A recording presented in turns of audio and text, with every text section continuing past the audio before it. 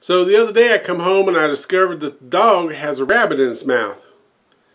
And uh, I grabbed the rabbit and it's, I mean, it's not bloody, it's just dirty. And uh, the neighbors next door, they raise rabbits. And I knew, I just knew that the dog had gotten one of their rabbits. And I didn't, and their prize winning rabbits, they're worth a lot of money. And I didn't want them coming over wanting me to have to pay for their stupid rabbit.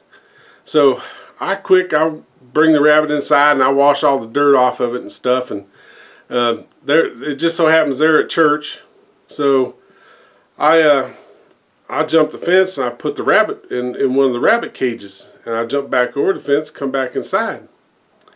And about 30 minutes later, they get home from church. And I'm, I'm uh, milling around outside in the backyard uh, doing some stuff with the planter. And uh, all of a sudden I hear this this screaming and this crying and stuff and I was like oh okay well they just found that the rabbit died but at least I ain't gonna get blamed for it right? And so I go over I figure I better make a appearance like I don't know what's going on and you know it's a real sad deal. So I go over and and uh, I'm like what's the matter? And they're like well three days ago one of our rabbits died and we buried it, but now it's back in the cage.